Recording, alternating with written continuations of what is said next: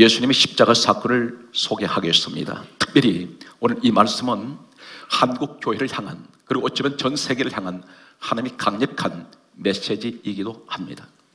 마태복음 27장 3절 말씀 보게 되면 예수님 십자가 현장에 여러 사람들 얼굴이 등장하는 가운데 그 가운데서 가른 유다의 얼굴이 보입니다. 이 사람은 3년 이상 예수님을 따라다녔던 제자였습니다. 그러나 그 결국 이 사람은 버려지게 됩니다. 예수님이 버리신 것이 아니라 스스로 예수님을 버렸습니다. 무엇 때문에 그렇습니까? 돈 때문에. 은 30 때문에 예수님을 팔아버렸습니다. 예수님을 배신했습니다. 결국 이 사람은 마태복음 27장 5절을 보게 되면 스스로 목매달아 자살하는 비참한 인생을 마감하는 것을 보게 됩니다. 예수님을 만났습니다. 그러나 그는 불행한 길로 걸어간 사람이었습니다.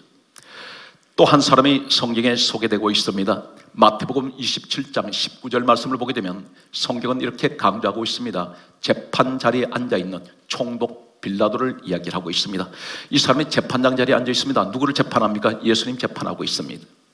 불행한 길로 갔던 사람들, 예수를 만나고도 비극적인 인생을 살았던 사람들 가운데서 또 어떤 사람이 있습니까? 마태복음 27장 26절에 보게 되면 예수님을 채찍질했던 사람들이 있습니다.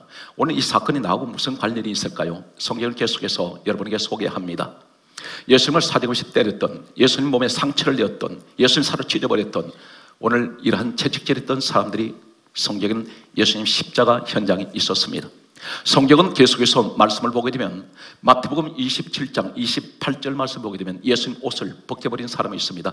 예수님의 부끄러운 모습을 온몸을 드러내게 했던 사람, 이 사람들이 십자가 현장에 있었습니다. 성경은 계속해서 또 이렇게 소개하고 있습니다. 마태복음 27장 29절 말씀을 보게 되면 가시체를 머리에 씌웠던 사람이 있습니다. 예수님 머리에 가시체를 씌워서 고통을 주었던 사람들. 그리고 계속해서 마태복음 27장 29절 말씀을 보게 되면 희롱하는 자들이 있었습니다. 예수님을 놀려대고 예수님을 비웃던 예수님을 업신여겼던 이러한 사람들이 십자가 현장에 있었습니다. 대단히 부정적이고 불행한 사람들이었습니다. 안타까운 것은 이러한 사람들이 아직도 한국 교회에 있다는 사실입니다. 계속해서 말씀을 보게 되면 마태복음 27장 30절 말씀을 보게 되면 이렇게 성경은 또 기록되고 있습니다. 예수님 십자가 현장에 있었던 사람들 가운데 예수님께 침을 뱉었던 사람이 있습니다. 얼굴에 침을 뱉었습니다. 그리고 계속해서 성경은 또 이렇게 정을 하고 있습니다. 마태복음 27장 44절을 보게 되면 십자가에 달려있던 강도들이 예수님을 욕을 했습니다. 성경은 그렇게 강조하고 있습니다. 이 사람들은 어떻게 되었을까요? 특별히 여기서 이 사건이 일어날 때 빌라도가 예수님을 재판하면서 이렇게 말합니다. 마태복음 27장 24절에 나는 무죄하니 너희가 이 죄값을 너희들이 받아라. 이렇게 말했더니 이 사람들이 오늘 말씀 내용에 가장 중요한 해서는 안 되는 말을 합니다. 주님 앞에 대놓고 이렇게 말합니다. 마태복음 27장 25절에 말하기를 그 핏값을 우리와 우리 자손에게 돌릴지어다. 이 말이 무슨 말이냐면 저 예수의 핏값을 우리가 지불하겠다는 것입니다. 우리가 그 대가를 지불할 테니 우리만 아니라 우리 자손들에게 돌려라. 이렇게 말합니다. 이때가 AD 33년입니다. 역사를 소개합니다. 막연하게 제가 성경 이야기만 하는 것이 아닙니다. 혹 이 자리에 성경의 이야기 아니냐. 맨날 성경 이야기만 듣다 보니 그 말이 그 말이지. 제가 여기서 중요한 소개를 하겠습니다. 역사에 그대로 소개되고 있는 세계사가 기록하고 있습니다. 인터넷이나 아니면 세계 역사를 보시기 바랍니다. 유대 역사도 있습니다. AD 70년 로마에서 디도 장군이 이끄는 10만 대군이 유대 민족을 침공해 들어왔습니다. 이때 100만 명을 무차별하게 학살시킵니다. 100만 명을 죽였습니다. 그리고 10만 명을 포로 잡아가 버렸습니다. 빌라도는 유대 5대 총독입니다. AD 26년에서 36년 동안 10년 동안 유대 민족을 통치했습니다. 그런데 예수님을 AD 33년에 재판하고 난 후에 그는 AD 36년 그로부터 3년이 지났을 때 교회사 또 세계 역사가 전해지는 내용은 이렇습니다. 빌라도가 로마로 갑자기 호송을 당하게 됩니다. 그리고 호송당했던 이 빌라도는 그 후에 전해지는 학설에 의하면 행방불명이 되었다는 이야기와 스스로 자살했다는 이야기가 들려집니다. 3년 만에 그런 불행한 길로 걸어갔습니다. AD 70년 디오 장군이 이끄는 로마 정예군사 10만 명이 들어와서 100만 명 유대인들을 학살했을 때 그들은 전부가 살아나기 위해서 세상 밖으로 다 세계로 흩어졌습니다. 이때 디아스포라가 되게 됩니다. 그 이후에 독일의 히틀러에 의해서 600만 명의 유대인들이 독개실실에서 그들은 전부 다 죽습니다. 그리고 어느 정도 잔인했느냐면 이 독가스실에서 죽었던 600만 명의 시체를 가지고 비누로 만들었습니다. 그리고 그들은 수많은 유대인들이 시베리아로 끌려가면서 무차별하게 사람들이 죽어나갑니다. 어디서 시작됩니까? 그 핏값을 우리와 우리 자손에게 돌리라고 거침없이 말했던 그들은 그 자손들이 엄청난 불행을 가져오게 됩니다. 그리고 이 유대민족은 이때부터 디아스포라가 되어서 전 세계로 흩어지면서 가히 입에 담을 수 없는 비참한 생활을 하게 됩니다. 그리고 그들은 1948년 4월 15일 날 이스라엘은 정식으로 독립이 되게 됩니다. 무려 2000년 가까이 나라가 없는 떠돌이 신세를 했던 그들이 바로 이 유대 민족이었습니다. 어디서 시작됐을까요? 그 말 한마디, 그 핏값을 우리와 우리 자손에게 돌릴지어다. 예수님께서 예언하셨던 한 사건을 소개하고 있습니다. 마태복음 24장 2절에 보면 예루살렘 성을 바라보시면서 타락해버린 그 예루살렘 성. 예수님 십자가 지기시기 전에 마지막으로 들어갔던 예루살렘 성전은 어떤 곳이었습니까? 비둘기 팔고 돈 매매하고 장사판이 되었습니다. 완전히 하나님 기도하는 예수님께서 말씀하셨습니다. 내 집은 만민의 기도하는 집이다. 기도의 소리는 사라지고 그곳이 장사꾼들의 소리가 난무했습니다. 예수님 상을 전부 다 둘러보십니다. 그러면서 너희가 어찌하여 내 집을 강도의 굴혈로 만들었느냐?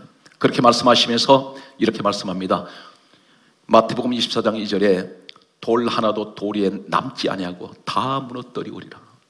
예루살렘 성은 참고로 말씀드리면 전부 다 돌로 쌓았습니다. 거대한 돌로 쌓았습니다. 웅장합니다. 그런데 예수님께서 그렇게 말씀하셨습니다.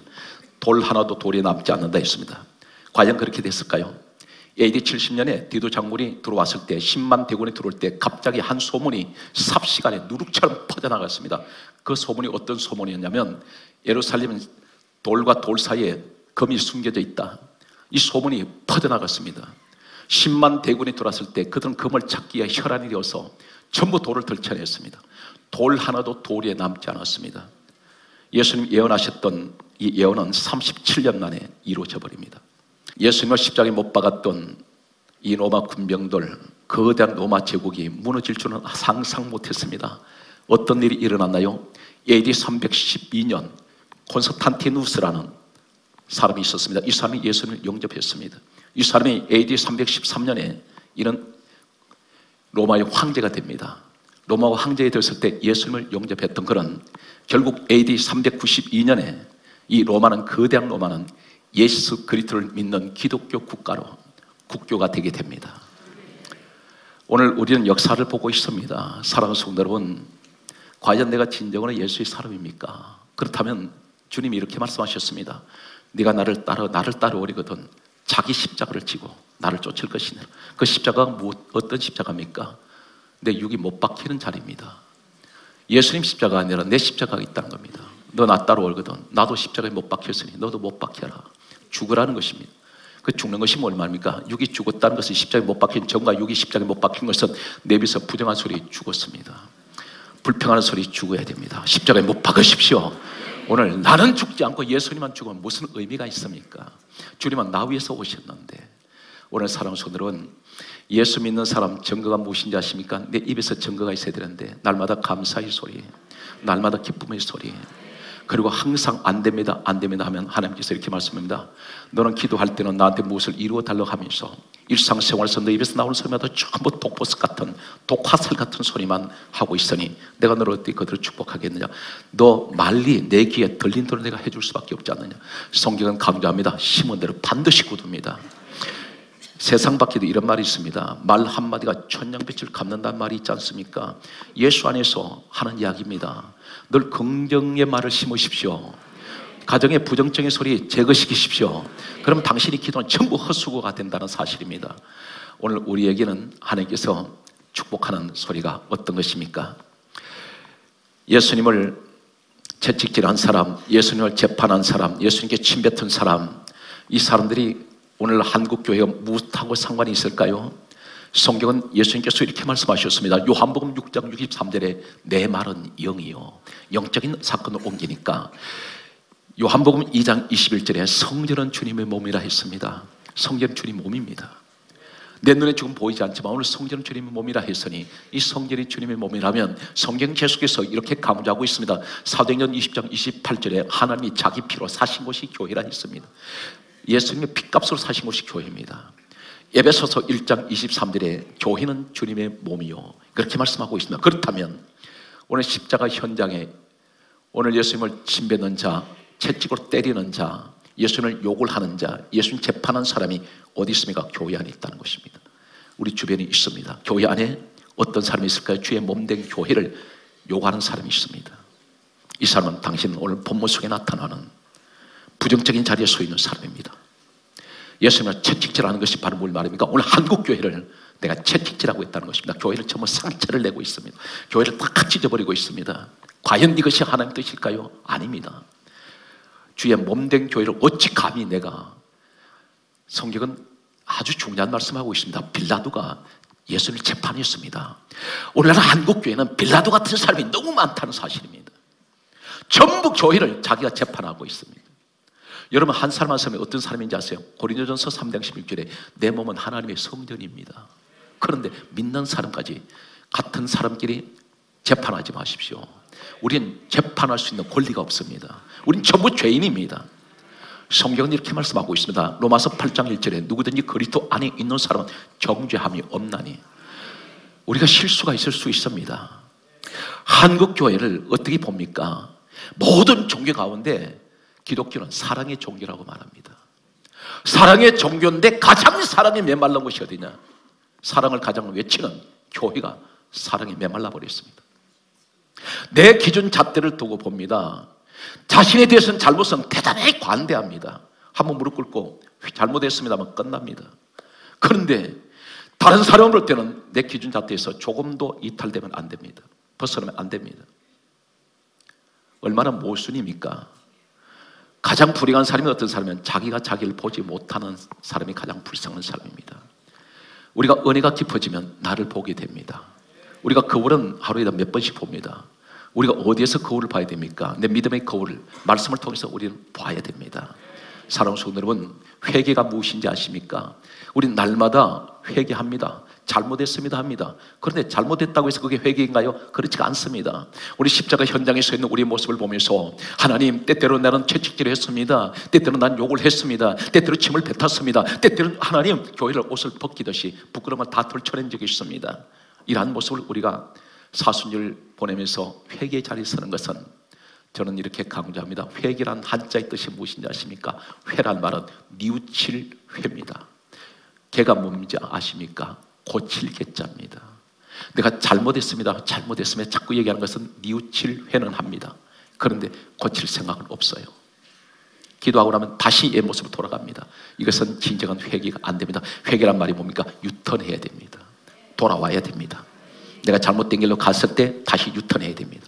이것이 진정한 회개인데 다행스러운 것은 한국교회 특히 오늘 여러분 말씀 듣는 여러분 가운데는 제가 지금 소개하는 이런 분들이 계시기에 교회가 건강합니다. 그래도 한국교회는 희망이 있다고 자부합니다. 왜 그렇습니까? 내 사람을 소개하고 있습니다. 똑같은 십자가 현장에 있는데 다시 말해서 똑같은 교회 안에 똑같은 한국 교회 안에 있는데도 이러한 장로님이 계시고 권사님이 계시고 안수집사가 있고 집사님들이 있다는 사실입니다. 어떤 사람이 있습니까? 마태복음 27장 32절에 보게 되면 구레네 시몬이라는 사람이 있습니다. 성경은 이렇게 말씀하고 있습니다. 예수의 십자가를 억지로 구레네 시몬이 졌다고 기록되어 있습니다. 억지로 예수의 십자가를 지고 간 사람 구레네 시몬이 있습니다. 이 사람은 참고로 소개하겠습니다. 구레나는 말이 어디냐면 아프리카 지역 이름입니다. 이 아프리카에 살고 있던 유대인 시몬이라는 사람이 있습니다. 얼마나 가난해 있으면 이 사람은 저 아프리카까지 가서 그런 살 수밖에 없었는지 모릅니다. 그런데 그 당시에 하나님께 예배하는 곳은 예루살렘밖에 없었습니다. 6월절 절기가 되었습니다. 이 사람은 머난 먼 길을 걸어서 요사이같이 교통수단이 아닙니다. 짐승을 이용하는 교통수단을 통해서 그는 왔는지 아니면 도보로 걸어왔는지 모릅니다. 예루살렘에 왔을 때 한 광경을 목격하게 됩니다. 수많은 군중들 틈에서 섞여서 이 구린의 시몬이 바라보는 한 분이 있었습니다. 이분이 바로 누구냐면 십자가를 지고 온몸에 피투성이가 되어서 계속해서 뒤에서 로마 군병에 채찍질하면서 앞을 걸어가시는 한 분이 있었습니다. 계속 쓰러지고 또 쓰러집니다. 그분은 바로 우리 예수님이셨습니다. 군중들 틈에서 처음 보는 광경을 구경하고 있던 이 구린의 시몬에게 로마 군병이 다가오더니 갑자기 강제로 끌어냈습니다. 왜 그러냐면 예수님이 계속 쓰러지시니까 대신 다른 사람한테 그 십자가를 지우려고 끌어낸 사람이 강제로 끌려 나온 사람이 구린의 시몬이었습니다. 성경은 이렇게 강조하고 있습니다. 마태복음 27장 32절에 억지로 억지로 억지로라고 말하고 있습니다. 무엇을 말씀할까요? 그 십자가를 앉으려고 몸부림쳤는지 모릅니다. 도망가려고 했는지 모릅니다. 발부동 쳤는지 모릅니다. 그런데 억지로 강제로 쥐어버렸습니다. 누구의 십자가인가요? 예수님의 십자가였습니다. 오늘 이 자리에 사랑하는 성도 여러분, 여러분이 때때로는 자기 십자가가 아닌 다른 사람의 십자가를 지고 있는 분들이 계십니다.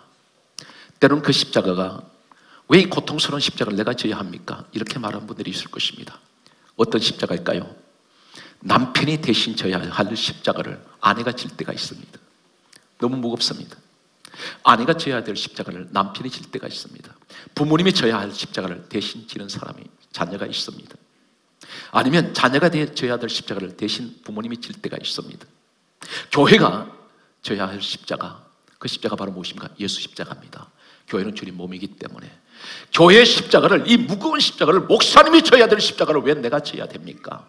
내가 왜 교회 문제를 끌어안고 이렇게 마음 아파하며 울며 기도해야 합니까? 오늘 주님께서 지고 가는 이 십자가 구린의 대, 시몬의 대신 졌습니다. 하나님께서 이렇게 말씀합니다. 그 십자가 영원히 지고 가는 것 아니다. 구린의 시몬은 골고다 언덕까지 그 십자가 지고 올라갔을 때 내려놓았습니다. 사랑하는 성도 여러분, 오늘 여러분이 지고 있는 십자가, 그 고통의 십자가가 한두 개가 아니라 여러 개 짊어지고 있다 할지라도 오늘 구린의 시몬이 지고 가는 십자가, 예수님 십자가라 했듯이 오늘 여러분 그 십자가는 주님께서 내게 지어준 주님의 십자가로 생각하시고 걸어가십시오. 반드시 어느 순간에 하나님께서는 그 벗겨 지게 해 주실 때가 있습니다. 구린의 시몬을 잠깐 소개하고 있습니다. 이 사람은 시골 사람입니다. 무식한 사람입니다. 가진 돈도 없습니다. 명예도 없습니다. 어느 누구에게 내세울 만한 권력도 없습니다. 너무나 부족한 사람입니다. 아무도 알아주지 않습니다. 그런데 이 사람에게 어떤 일이 일어났을까요? 마가복음 15장 21절에는 이 구린의 시몬에게 두 아들이 있었던 것으로 성경은 기록합니다. 알렉산더와 루포가 있었다고 기록합니다. 두 아들이 있었습니다. 그런데 이 알렉산더와 루포가 어떤 축복을 받았을까요? 알렉산더는 전해지는 교회사에 보게 되면 로마에서 유명한 사람이 되었고 바로 루프는 베드로와 함께 주의 종이 되어서 복음을 전했다고 전해지고 있습니다. 예수님 십자가를 지고 가는 이 사람들 구린의 시몬 같은 사람이 오늘 교회 안에 있습니다. 그분들은 분명히 오늘 구린의 시몬 같은 축복을 하나님께서는 주고 계십니다. 교회가 힘들고 어려울 때 그 직분 감당할 때 힘내시기 바랍니다. 그리고 이것은 내게 주어진 예수님의 십자가라고 생각하십시오. 일을 하다 보면 욕먹습니다. 십자가는 영광이 아닙니다. 십자가는 고통입니다. 십자가는 때때로는 비웃음을 받습니다. 십자가를 지고 하신 예수님 앞에 침을 뱉는 사람도 있습니다. 주먹질 한 사람도 있습니다. 채찍질 한 사람도 있습니다. 앞에서 일하다 보면 많은 욕을 먹습니다. 그런데 분명 그 십자가는 구원의 십자가요. 영광의 십자가며 축복의 십자가입니다. 예수님 십자가는 온 인류를 죄에서 살리는 십자가입니다. 오늘 주님이 나를 살려주시는 오늘 일꾼된 이 자리 분명 그 다음 축복입니다. 두 번째 마태복음 27장 54절에 보게 되면 백부장이라는 사람이 소개되고 있습니다. 이 백부장 자리가 보통 자리가 아닙니다. 로마의 군대 지휘관입니다. 이 로마의 군대 지휘관 백부장이 지금 십자가 현장에 왜 와 있습니까? 바로 로마 군병들이 예수님 십자가에 못 박으려고 지금 와 있는 사람입니다. 그런데 이 백부장이 누구냐면 지휘관이요 통솔권자입니다. 그런데 이 사람 입에서 뭐라고 말하냐면 예수님 십자가에 달리셔서 운명하실 때 하는 말이 이는 진실로 하나님의 아들이었도다. 다시 말해서 저분은 하나님의 아들입니다. 이 말을 했다가는 이 사람 파면당하거나 아니면 징계를 받거나 군복 벗어야 됩니다. 아니면 십자가에 사용당할 수가 있습니다. 왜 그렇습니까? 지금은 로마 법에 의해서 유대법에 의해서 이 사람들이 예수님을 십자가에 못 박고 있는데 그 자리에서 저분은 하나님의 아들입니다 말했을 때는 이 사람은 똑같이 역적으로 몰릴 수가 있습니다. 그런데 여기서 무엇을 말하나요? 우린 때때로 예수님을 믿고 따라가다 보면 기회주의자들이 많습니다. 내가 조금만 불리하면 예수님을 모른 척합니다. 교회 안다는 척 합니다. 그리고 부정적인 사람하고 휩쓸리면 계속해서 똑같은 부정적인 말을 할 때가 있습니다. 남을 비판할 때가 있습니다. 그런데 백부장은 그렇지가 않습니다. 자기 신앙의 주관에 뚜렷합니다. 이런 사람들은 요사이 말하면 이단한테 넘어가지 않습니다.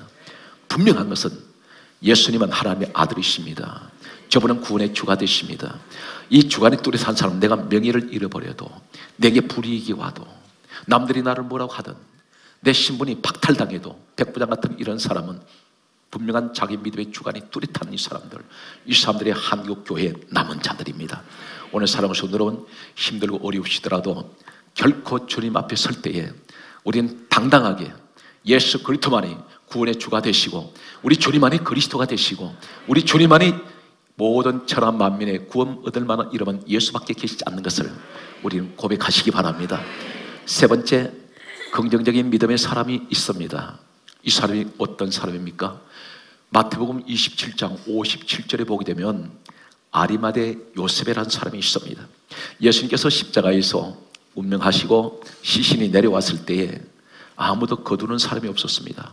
정말 무서워서 가까이 가지 못합니다. 이때 아리마대 요셉이 빌라도에 가서 이렇게 말합니다. 예수님 시신을 내가 거두게 해주십시오. 했더니 가져가라고 말했습니다. 성경은 이렇게 말씀하고 있습니다. 아리마대 요셉이 자기가 판 새 무덤에 안치하였더라 이렇게 말씀하고 있습니다. 새 무덤이라는 말이 무슨 이야기할까요? 이 사람 부자기 때문에 나중에 죽으면 자기가 들어가서 이제 장사 지낼 묘지를 미리 만들어 놓았다고 이렇게 말하는 사람들이 있습니다. 그렇지가 않습니다. 역사를 보면 이 사람 장의사입니다. 장의 사업을 하던 사람이었습니다. 저기 팔레스타인의 무덤은 우리나라 같이 지하를 판 것이 아니라 굴을 만들어서 거기다 시신을 안치합니다. 전부 다 굴을 만들어서 거기다 무덤을 만드는데 이 사람은 여러 개 무덤을 많이 만들어 놓았습니다. 그리고 그것을 가지고 팔았습니다. 사업이었습니다. 다시 말해서 무덤 하나 만들려면 이것은 한마디로 말해서 많은 돈이 들어갑니다. 이것은 그 사람의 재산을 말합니다. 주님이 힘들고 어려움 당할 때에 그런 재물을 내어놓고 주님을 섬겼던 사람입니다. 자기 재산을 내어놓은 것입니다. 오늘날 교회가 한국 교회가 이런 분들이 많이 있습니다. 교회가 힘들고 어려울 때 내게 가진 것 없지만 주님 앞에 예물을 통해서 내가 가진 물질을 들여서 하나님께 영광 돌리는 사람들이 있습니다. 이 사람은 나중에 어떻게 됩니까? 누가복음 24장 50절에 보게 되면 이 아리마대 요셉은 공회원이 되었다고 기록되어 있습니다.